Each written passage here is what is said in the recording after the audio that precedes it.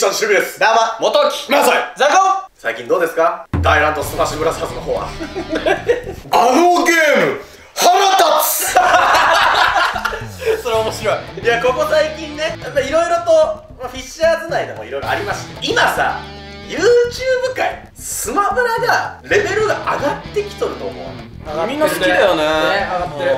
みんな上手くなってるのよ。うん。本当に。間違いないと思う。ここ最近俺も他のクリエイターに会ったりとかもするんだけどやっぱみんな上手くなってるのよ。うん。そしてえ昨日えマサイ君え深夜何がありました？テレビを売りそうになりました。どういうこと？あれ何が起きたんですか？最近ねそもそもまあ昨日の話もそうなんですけどあの僕マジでちょっとスマブラ頑張ってまして、でそのオンラインにあの VIP 制度っていうのがありまして、ある程度の強いランクになると入れるカテゴリーがあるんですよ。そうだね。でその中で僕潜っているんであの強いねあの荒くれ者たちと戦ってたんですよ。そうね。はい、で深夜帯なんで結構こってりな性格してる人多くて。こってりな性格、はい。まあ手だれが多いってことですね。濃いんすよ。スマブラにどっぷり使ってる人たちがどっぷり使ってる人はもうほんと濃厚な人たちいっぱいいるのよ。やっぱね負けるときは負けるしこう煽られるときは煽られて、イライラしていくわけよ。最初のうちはもう仏の心でやってるわけ。はい。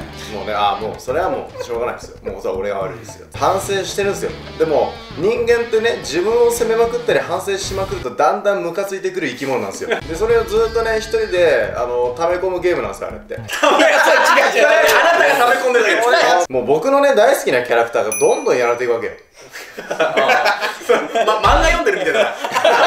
せっかく VIP に入ったルイージってキャラクターがね最近落ちちゃったりとか、ねあとはそのなんだまあオンライン上で定められてるその VIP の中でもランクがあったりするんですよ。そうだね。そのオンラインのランク例えば魔境ってクラスがあったりするわけですね、はいはい。非公式でね強さ別に名前が段位があるんだよね。VIP っていうところにまず到達するんだよ。そでそこに到達すると、まあ、VIP 街道爆心中みたいな、まあはいはい。VIP として安定してますよみたいなうん。ところがあるんですよ。でその上に魔境1っていうのがあって、はいはいまあむちゃくちゃ強い人たちが集まってる、うん。そこにもレベル123ぐらいまであって、その後に魔境卒業の後に地元最強宇宙最強みたいなのが出るようそうそうそう、まあね。であの一番上まで行くとあの桜井。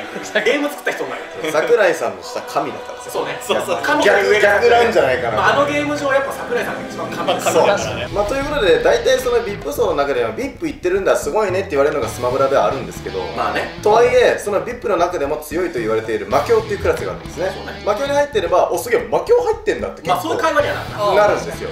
なんでイコールこうスマブラ自自体が強いってことで恐れられる存在になれると、ね。箔がつくよね。あの僕のキャプテンファルコンも魔境に近いところだったんですけど、うん。もう昨日やられまくってマジでスイッチ壊しそうになりました、はい、俺がもうこのスイッチとテレビを手放せばもうスフィッシャーズをスマブラしなくて済むんだっていう。俺ら別に呪縛と思ってない。そうそう俺は好きだけど。本当もう俺んちで二度とスマブラできない環境にしてやろうぐらい悩んだんでもうガチだっていうのが皆さん分かってると思います。そうね。はい、僕のツイッターも最近そんなツイートばっかです。本当にそう。で元木君は最近結構トレーニングモードやってるみたいな。スマブラってどういうゲームなんだろうみたいなのを、まあ、今になってちょっとあのいじり始めてるんですけどこれがマジで面白い。本当に面白いんだけどただそれを実践でやろうと思ってもまたなかなかうまくいかなかったりとかして。まあもがいてる最中ではありますね。はい。うん。ダーマ君と高岡君今どんな感じでしょうか？俺はねで魔境1行って、もうあと保存 次やったら負ける気がする。そうだからその魔境入ってるランクを落としたくない。からもう魔境1入ったらもう保存。実はスマブラの記録であの最高世界戦闘力って保存されてるんですよ。そうなのそうなのだ。からあの戦いの記録から自分がどこまで行ったかいつでも見れるんですよ。あのオンラインに潜った時あの画面があの方がいいんだよ。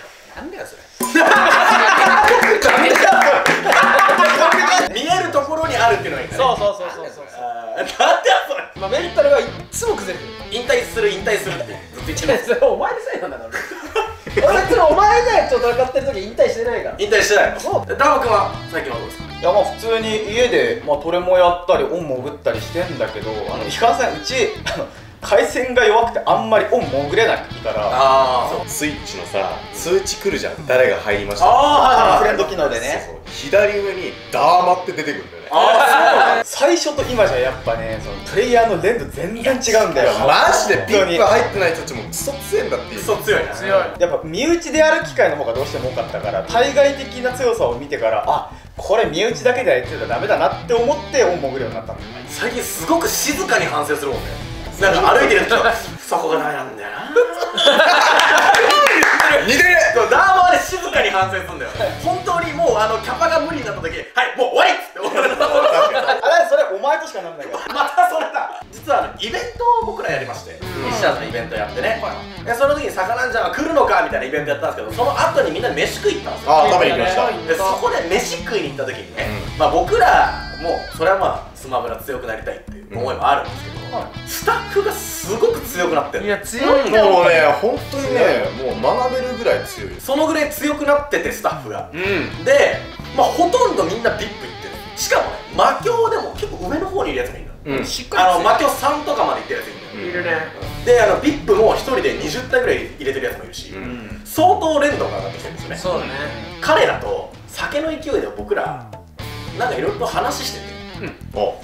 まあ、YouTube の話してたんですけどあの後半ぐらいにスマブラであの勝ち負けでいろいろ決めようぜと。かけスマブラですよね。そうですね。ただちょっとお金金銭はかけられないのでそうそうそう。その代わりにちょっと重ための何かをかけようってことになったんですよね。大罰を。おあれ大罰ゲームだなと。はい。そうだね。でちなみにここでそれをやろうってなったのがえっ、とまあ、えー、ザカオくんとその場にいた元木くんとダーマでその時ねマサいなくて。あ俺いないです。そうそうそう。お前2日以内にマジで事務所行った時ボコボコにしたからな本当にボコボコにすった。らなお前ボッコボコにして。マジで俺勝ったら勝ったらこいつに鬼殺しを飲ます。おーいいですね俺はいや8万円の俺自信としては俺どれなんだよ。僕ですか？あの8万円の硬さ正直俺はあのうざいしっていうかやっぱ うざいって思ってるってことは崩せないってことじゃん。それ崩したいとは思う。ねドルはどう？だあんたでもいいよ。じゃあガガに負けたらいいんじゃないですかじゃあ俺挨拶でどうもフィッシャーズですわってゆうちゃんって言う。そうな。負けたら言えよ。あ負けたらゆうちゃんって言う。よそう負けたらどうする？1週間オールバック。あいいですか一週間俺ばっかりいいじゃあ逆に負けたら負けしたら負けたら。今の財布の中に入ってるお金を全部ドルに変えて。わかりました。わかりました。給料全部ドルあドル払い。ドル払い。ドル払いか。お前めちゃめちゃめちゃくちゃ熱いんだよんだよ。ある。おおロン毛対決いきますかお財布をキャリーバッグにして でキャリーバッグを毎回キャリーバッグを財布にするってこと？いや面白くなってきましたね。山崎は3日間無人島。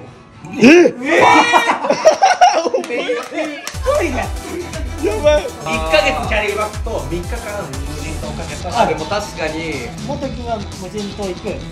でそのカメラマンは俺らの中から決める。あいいよ。あのあるじゃなくていい。あ誰でも誰でもいい。よ。無人島でもかかかってるもの俺ちょっと弱い感じがする。あもうそれもさ俺の方がさでかいの。あメンバーとしてのね。メンバあー。4プラスオンした方がいい。オッケー。じゃああのキャリーバッグ財布代わりは、まあ、確定プラスの街道のたびにおにぎり握ってくるとかどう？ああそれキャリーバッグと。おにぎりと VS 無人島ーうわすごい勝ったらさ1本だからおにおにおにぎりキャリーマンとおにぎりキャリーマン VS 無人島俺は負けたらじゃあ挨拶でどうもザコゆうちゃんです俺は1週間オールバック俺やっといたらここちょっと反ってほしいんですよあ確かにあそうあーツーブロここに来てすげえって言い方あの B, バックハイスクールそれでサングラス3日間 確かに。ザカオの相手誰だ？俺ガガガガね元木の相手はある。あるね。おダーマの相手はどれおおドルまあちなみにこの3人はね強いんですよ。うん。強いよ。うん。ちゃんと強い。でマグもちゃんと強いんだよね。強いね。でだんだんネルとハクも今追いつこうとしてる。もしうちのメンバーが負けた場合は罰ゲームがあって。うん。ちなみにこれスタッフもあるんですけど。そうなんだよ。お互いにかけてる。お互いにね。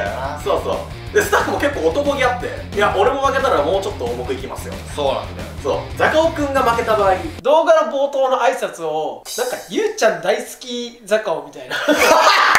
マジ？視聴者これ大変だね。確かに。確かにまた言ってるよ。毎回言うことでもないよ。そう毎回言うことじゃないしかもそれ伝えんの視聴者さんじゃなくてゆうちゃんに言えばいい。そうそうそういろいろおかしい。ダーマが負けたらなもん俺1週間あのオールバックで過ごす。あれ反り込み入れんじゃなかった俺がバックで。折り込み入れっけ？あなんかそんなような話をしたかあっもしれないた気がするよ。多分ねトイレが動画撮ってんだよねこれの人あそうなんだ。でこの二人はでもまあちょっと軽めなんだよね。そうだね。もとき負けたらなんだっけ？3日間無人島です。終点だ終点なんだよ。終点。でそう。マジで言ってんの？いやこれさ言わされた？自分で言ったの？じゃまあいろいろあって、まあちょっとその罰ゲームつけようよの話で軽めのから言ったのよ、そしたらスタッフが結構ノリノリでであるが結構お得意あるから、そんなんでいいんすか？ってなって であるが結構重めというか結構面倒くさい罰ゲームをししとったから、えーそれ聞いて俺もちょっとこの賭けじゃまずいよって俺も少し重たいのにしたいなって言ったらこれになっただからあの少しじゃないよ。重たいの話じゃねえんだよ。カジノであのベッドがだんだん吊り上がってったみたいなそうそう。やばいだろ。やっぱ飲みの席あるあるじゃん。飲みの席ね。本当確かに。本当にまあ冗談交じりに言ったんだけどやったらおもろそうだからやってみよう。でもこれ合言葉があって。何？勝てばやんなくて済むまあなんか俺は別に俺の口からスタッフは別にやらなくていいよとは言うけど多分だけどスタッフはやるっていううん。負けたらやりますよって言うと思うんだけどまあ一応言っとく。別にやんなくてもいいぞ。俺らは。俺らは。え君たちはやった方が面白いんで。いや俺らはやれば動画になるから。そう。いや俺らは負けたらやる。勝ちゃいいんだよ。勝ちゃいいんですよ。私ですねやっぱ今そのプロだったりとかその界隈の人たちと戦ってるんですけどまだ俺も弱いと、まあ、僕は基本的に YouTuber とスマホやった時に、まあ、負けないんですよ。正直ね。しかもまあ別にメインを使わなくてもいける。はいそのぐらいまでは、まあ、練習して慣れたんですよ。まああの全リップです。でその僕でさえやっぱこう、まあ、名だたる選手やるとさボコボコされるわけですよ。でそれで今まあ頑張ろうと、まあ、本物たちが集まる場所に行ってどのくらい自分がやれるのかも気になってるので、ちょっとそれでねあの今あのコーチングをしてもらいながら頑張ってるんですけど、フィッシャーズにいるんだったら、まあ、自分の学んだことをシェアしなきゃいけないなと嬉しい。そうそうそう。それありがとプロから習ったこと？プロを見て感じたこと？それをメンバーに分け与えればメンバー強くなるのではないかなと、お。いうことで。ここ最近ね僕思ったんですよ。いろんな YouTuber にスマブラを教えるみたいな企画よくこうねあの提案されるじゃないですか、うん。なんかコムドットに教えたりとかいろいろあったじゃないですか。あやってたね。キョン君に教えたりとか、うんうまくなったよね。ここで思ったんですよ、メンバーに教えてねえって。聞いてないね確かに。そうなんですよ。シルクか。らこれ企画としてなんか成立しちゃってるじゃないですか他の YouTuber の時。まあそうそうだね。う。ちのメンバーにやってね。えと確かに身近にやってない。身近にやってないんだったらこれ企画になるんだ。まあ逆に言うと僕はあのこの4人からスマブラを教えてもらって学んでここまでだったので、は恩返しの時かなと。ええマジもうこれやれば強くなると対戦の時に何を考えてるか、そこをちょっとあの教えれば全員確実に強くなるのではねえかなと。ありがたいなはいまあこれのねゴールはスタッフと戦うところまあそうだね。僕が教えれることをまあ4人に教えてどのぐらい上手くなるの確実に俺これ勝てると思うんで。ちょっと教えます。イエー。イなんでシルクさんがそのスマブラ教えたら VIP 入れる説みたいなさ、うん。結構企画をやってもらうことが多くて、はい。ここ最近僕が気づきました、うん。あ僕教えるだけで動画になるんだっていってます。もううちでもそれやってみようと。なるほど。ああ新しい。スマブラルーム行きましょう。はい。よし行こマサイがさお前罰ゲーム背負うの？いや。えいや罰ゲームせようとしても誰と戦うんうですそうそう。確かに。ってなっちゃうから。僕ですね。本当に悩んでるっていうのを先ほどお伝えしたと思うんですけど、は深夜に LINE する相手がいるんですよ。あそれがシルクノートなんですよ。俺シルクにこれマジでどうやったら強くなるかなみたいな。ス マブラの話があのガチで個人ライン来る。今年ね魔境入れなかったらうん。うんちょっと来年禁止してものがありましてですね。おおああ自分との戦いだ。1年間ラーメン禁止にします。並々ならぬ思いだな。それぐらいの心でいかないと俺一生スマブラ強くなれんねえと思って。それぐらい本気です、い、かがでしょう？オッケーです。いやもう全然いいと思います。全然オッケーなんだったらあのゆうちゃん大好きより全然重いですからね。俺軽い。では今から練習していきましょう。いいはい。ということでスマブラ部屋に集まりました。はい。はい。まあマサイ君のね、まあ、リビングなんですけど。なんか適当に対戦するか。分かった。あまあ。まあもちろんね僕も教える立場ですけど僕もね甘いところ全然あるんで、それはね僕は後でそのリプレイを見て反省します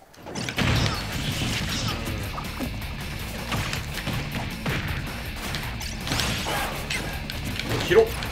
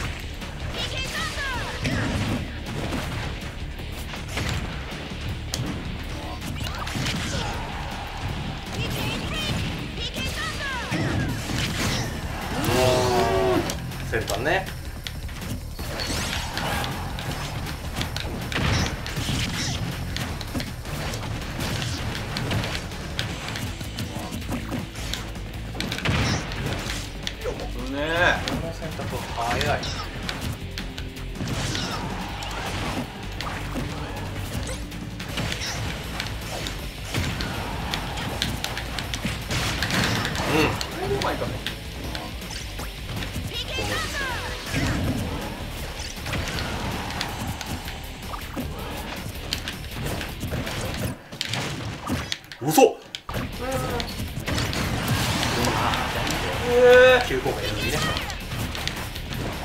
多分今9個がだったら多分何されてるうん。これだ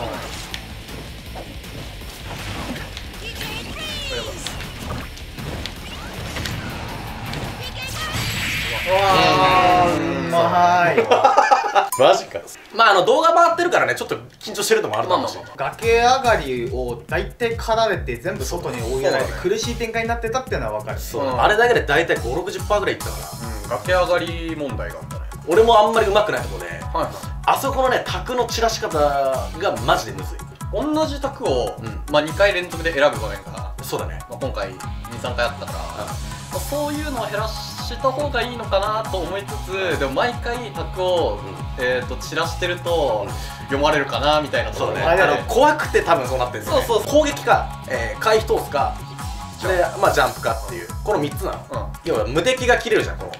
ピカピカピカピカピカって。ここ無敵切れてるわけじゃん。切れてる、ここ攻撃当たるってビビりすぎてんだよね多分ああそうだね。まあそれは考えてる、無敵切れたあ攻撃されんなみたいなそう。そう大体だから無敵切れるタイミングで復帰をしがち。そうそうそう、るピカピカピカピカ。今だで上がること、うん。これ要は狙ってんのってこれを狙ってんの、このこっち側のジャンプにパパーンと当たるように。でこれであの優勢になればいいなこの時にもう一回通してもらないしそう。これでもし食らったとしてもペーパーだった場合はそんなに不利にならないから俺のドンキーとかよくわかると思うんだけど俺離れてからその場にこうやって合わせるじゃん。そうだね。そう。これはもう相手がその場って来るの分かってるからで前ダッシュに合わせて食えるとか。ねうんうんうん。敵のアクションを見てこういうのこういうのはいはいはい。崖捕まってお前来いよ。こうやってここでもうライン入れ替わったりする、うん。だ多分これをみんな多分苦手だと思う。こうやって浮かれるとダメでしょ。そう。浮いてで目の前まで来てガーキャンつかみとかなんか誘ってもう一回ニアジャンプでそこを咎めていくんだよな。そうそうそう。大ジャンプは様子見と要はあの落下が早いキャラはここからアドが高いからやる、うん。小ジャンプは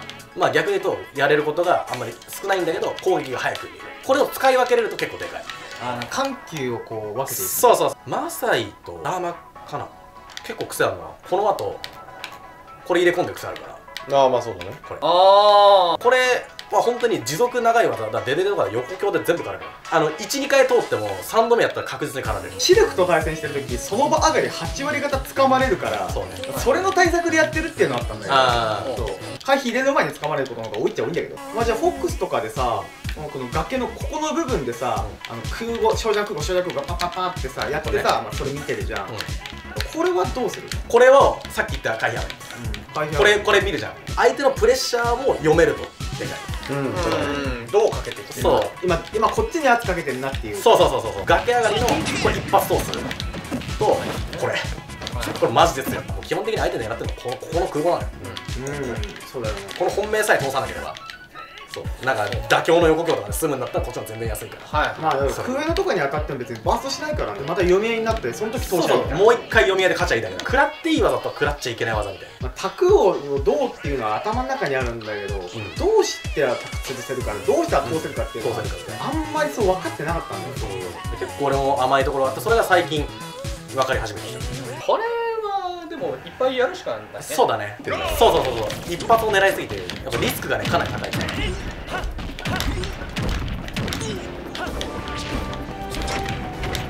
今のちょっとリスクだね。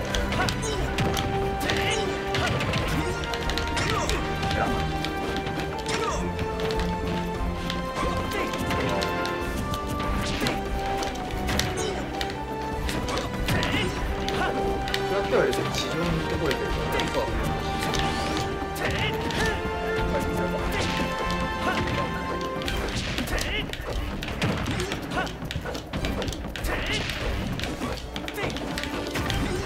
今のは多分回避でいいよそういうことそういうこと上がりだ。よねそういうことそういうことまあこれその場とジャンプを買ってるっていうのを分かりやすく見せてるわけだもんね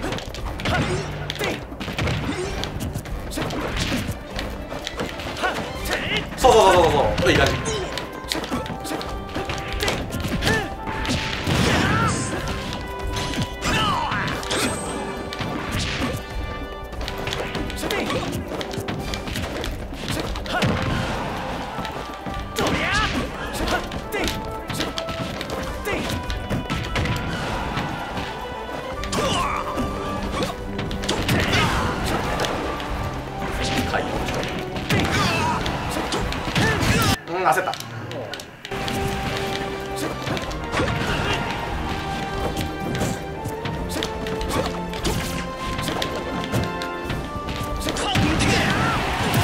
ごめん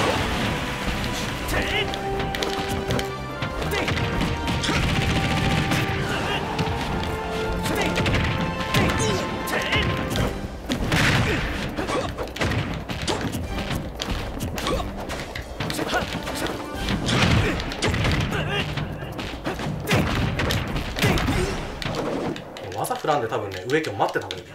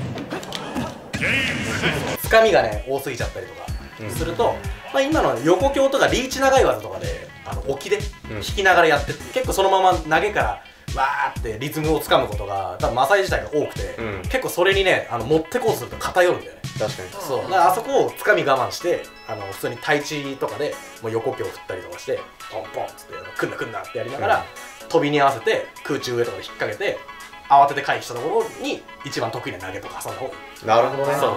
相手にとりあえず今俺がしたいフォックスの立ち回りの飛んでから何々と A 連打をやってるのが全部通ってたの、あそこさせない動きをしてから掴むと多分いい相手にさせたい行動をまずやらせなくしてから自分の行動。で1ストック目は自分のやりたいことで俺いいと思う、あの多分相手分かってないし、自分のやりたい行動バレてないから、それやっちゃってでだんだん覚えてくるとあこれ相手がやりたい行動なんだ。じゃあやらせないように立ち回ってからやこっちやろうってなる、はいはい。それと同じことやる。みたいな、今多分ね見た情報で全部動いてるみたいな感じあるからうちのメンバー自体がそうだね。そうそうそううんうん。そこはもう一旦我慢するのが大事で俺も結構デデとか使ってあのやっちゃいけない時に下強打っちゃったりとか、はい。ライン交換した瞬間にあの崖出したくなって下強で反転下強して出したりとかある。確かにこの攻撃が刺さったから今だっていうの結構多いよそうそうそうそうだから技振らないっていうのをそう一つの技として覚える。ガノンドリっていう。あの復帰阻止の方。お阻止ね。復帰阻止の方。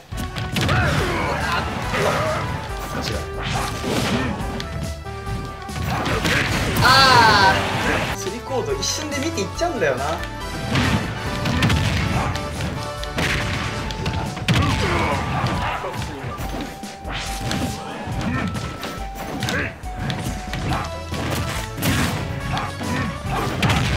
おこの壁が。これなんだよな。やっちゃうのよ。ね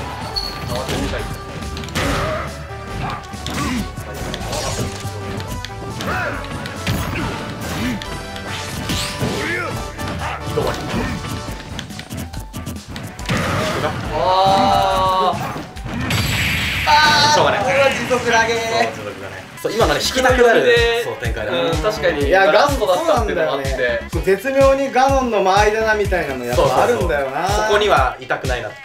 あのちょっと前出たら空中 L 食らっちゃうみたいなね。あアルボートが沈没しましたね。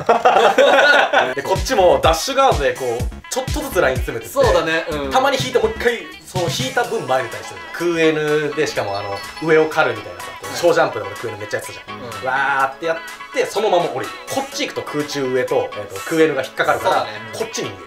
はいはい。ジャンプでこっちそれで確かにそうそうそう。そうすれば下 B がバー来た後にウルフはこのまま着地で空中前が着地ギリギリで入るの確かに。で入るとそこからあの下 B 空母とかで相手バーストできたりとかするから。確かそう。に引いて空前とかで着地すんでんのに後ろジャンプが正解ね。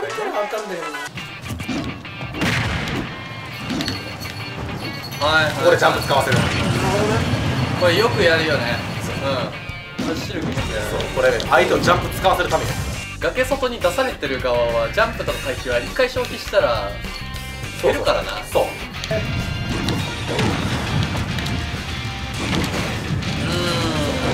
さっきこれこれが効いてんだよこれ。そうだね。この振りが効いてるから今あ空母入るでこれじゃん一旦コネの見せてから行くっていうのがマジです安心感をちょっと見せといてそうそう。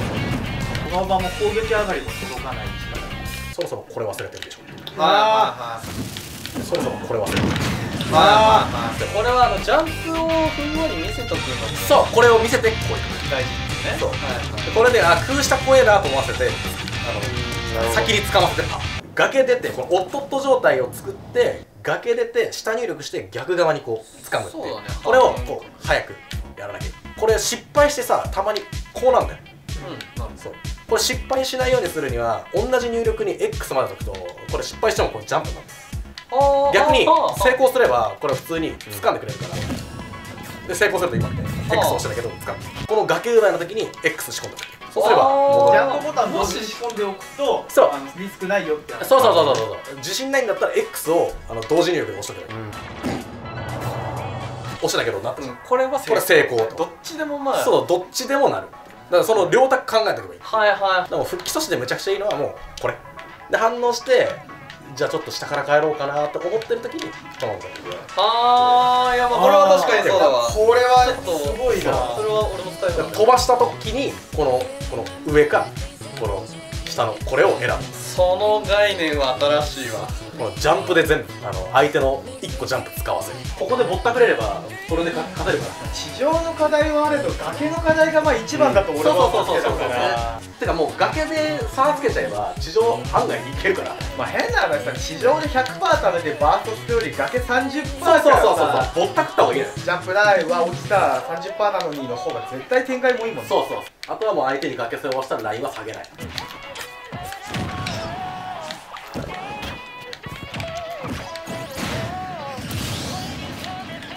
今121だから詰め寄るんだったら投げだとね相手にアドバンテージですからパックンフラワー的には技を置いた方がいい。掴まれないように空中 A とか空中前とかで掴み拒否そうそうそうそう。ラインだけは保ったままそうそうそう無駄にね動かない方がいい。黙ってた方が圧あるから。これだとねライン自分から下げちゃってる。パックン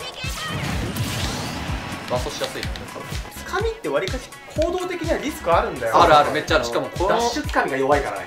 そう。後付けめちゃめちゃあるしあの思ったより伸びないしみたいな。そう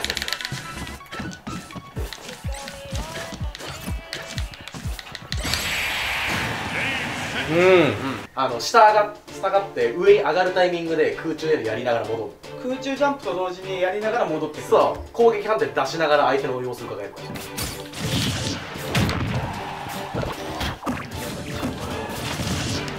これつえマジで。あーこれ両方枯れんのかこれ。おおそうこれ確かに N ちらつくな。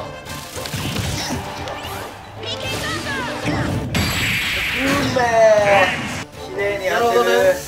あれかポロン降りて上で戻る中で戻る。空中で止まれる技が多いからあの、まあ、マリオで言ったら両方みたいな、ああいう技は結構チラシで使うって言ってたからゴリゴリのガチ指導いやおもろいね。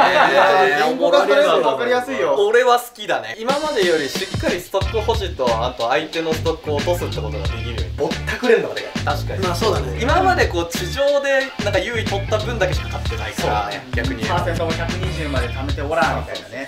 確かに。もうちょっとねあの悪徳業者になってうん。あそうそうそう俺も悪徳業者の塊だからね っていうのを崖をやるというもう頭ショートしてる人いるな。今覚えらんなくてもやってるうちにあさっき言ってたのこれかみたいな瞬間があ絶対あるから、うん。そうそうそう。お前らよく聞いたやつすぐ喋れるな。俺結構こう後ろの席の時まで頭ショートしてたよ。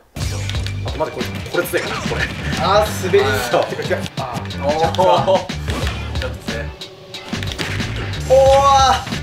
おーああーもったいない。もったいないー出ようとした時に掴んじゃうんだよねたまに。俺こう前に出ながらの攻撃になんか後手で回ってからえちゃうんだよね。多分攻めてる時はねダオ強いから、そう守りの時に多分こうそう。頭の中で守ろう守ろうっていうのが強いから逆に強気に DF に行くとかラインを一気に詰めるからジャンプでそれを元に戻そうとするからここに来る前あるあるだね。そうそうそう。聞こえようとしたところ飛びそうそうそうそうそうそう。あれが結構ちゃあるわ今回結構目立ってたから。はってい。うやまあ結構ちゃんとした、まあ、俺も習ってる部分をそのまま喋ってるところもあるし、まあ、自分でこう考えてこうこうやってうまくいってるっていうのも何個かちゃんと喋ってでも一人で考えてる時よりなんかこう広がりは出た感じがするわ、うん。マジでそう。明確な答えがまああったよね。ここでねより強いスマブラをずっとできればあのフィッシャーズだけでめちゃくちゃ強くなれるっていう。そうだね。一番いい環境です。まあ、プレイヤーたくさんいるのはいい環境なんで、はい、うん。もう私もあのちゃんと上の知識を吸って強くなってくるんで。再分配で。みんなが強くなる。おーはい。というわけでね、あのこの動画を撮るってなった時にねあの言ってなかったんですけど、あのンダホ君は託すということを。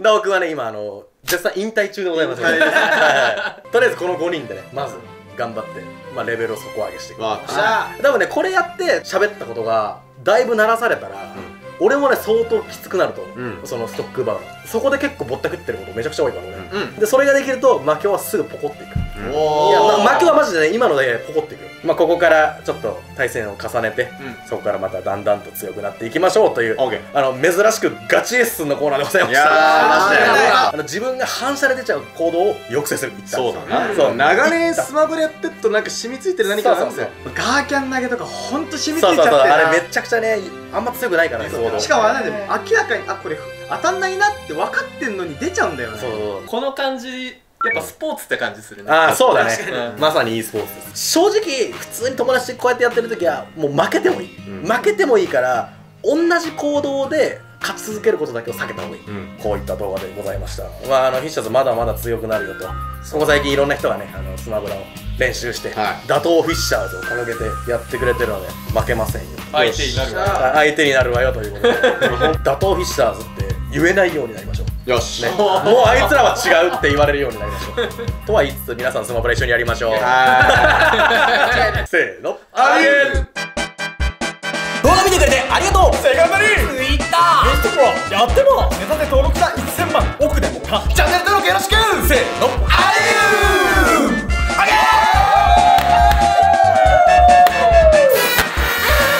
おい。ジェニファー見たまえま